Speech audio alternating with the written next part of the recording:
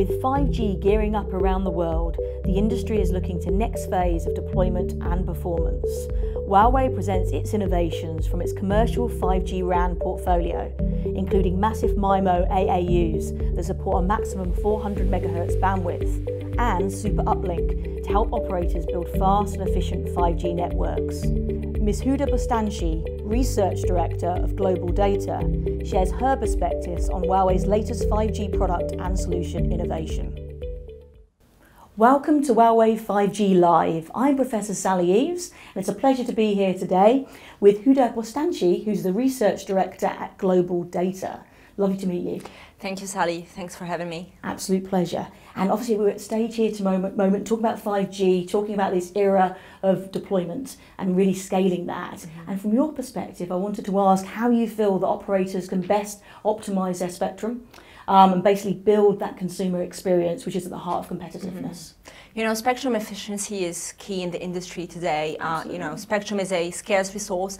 When you look at spectrum allocations in uh, a number of countries, really, many telcos have found themselves with very segmented, fragmented spectrum resources. So uh, they really net, need to get the most out of their existing spectrum resources and uh, resort into spectrum efficiency solution is uh, key, such as uh, dynamic spectrum sharing or massive MIMO.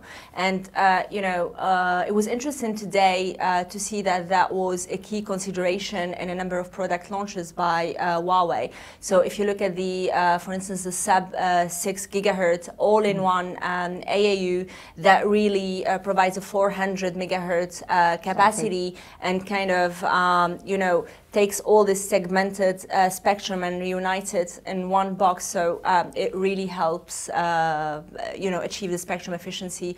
5G FDD NR is another example, uh, for instance, with um, which can help telcos uh, achieve you know, faster and uh, better network coverage with better latencies as well. What technologies do you think are key now for operators to really drive forward this innovation through 5G? Really, any technology which will help telcos fast track their 5G deployments at a lower cost with a, achieve a better network performance mm -hmm. and most importantly unlock these new monetization business models. So we talked about the massive MIMO, we talked about the networks uh, slicing. Uh, we can talk also about these um, mm-hmm. uh, the um, the Blade AAU yes. Uh, that really brings together the massive MIMO and the passive 3G, 4G, 5G unit and can help telcos uh, achieve a better uh, space efficiency and uh, you know fast track the site acquisition time um, mm-hmm. as well. How do you think operators can best embrace that opportunity? What do you think needs to be done to help them achieve that? First of all, really understand the specific needs, challenges, and priorities, digital transformation priorities of each specific vertical industries. If you look at the oil and gas sector, for instance, you know, 5G can power predictive maintenance for the pipes. It can, you know, power and, uh, you know, the exploration process or the drilling process by uh, help, help and send real-time data to the interpretation uh, central teams. But also telcos need to have in place, you know, the right uh, technical uh, solutions to support Absolutely. that, to support lower latencies, to achieve, uh, you know, a kind of end-to-end -end, network uh, slicing needed as well.